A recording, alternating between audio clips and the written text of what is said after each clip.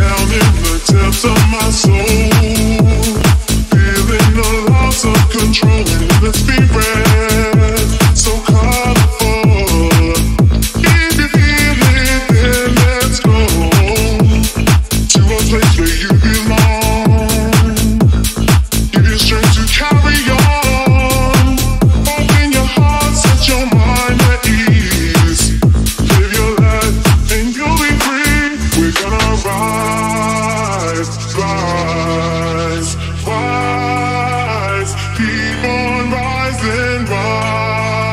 Cause